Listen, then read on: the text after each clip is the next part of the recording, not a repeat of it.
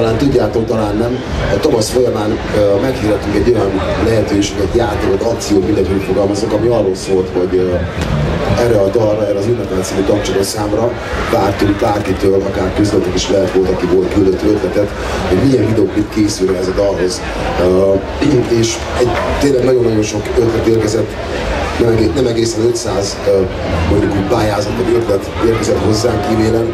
Voltak közt egészen viccesek is, meg voltak nagyon komolyak is, és végül is aztán az az ötlet nyerte el ennek a klubkészítésnek a lehetőségét, akit az itt tőlünk jobbra ülő fiatal ember százados Miklós nevű srác küldött.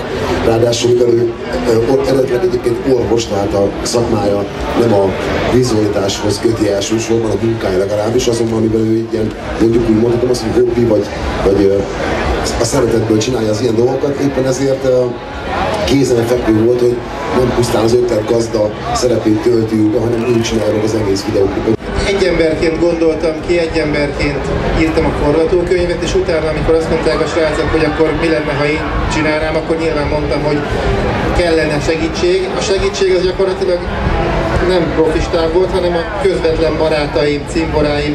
Azt, hogy csinálsz egy videóklipet már nem elég. Azt, azt látjuk, hogy valamit mögé kell rakni, és ez egy jó ötletnek tűnt. Egyrészt azért, mert a sok internetról mindig fikázza a zenekar, bármit csinál, az minden rossz.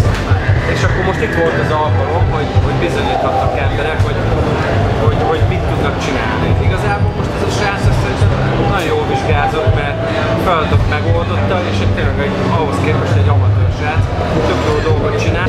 Legösszeszedettebb volt, legjobban körültekintő, és érződött az ő, ő leírásában, hogy ő alkalmas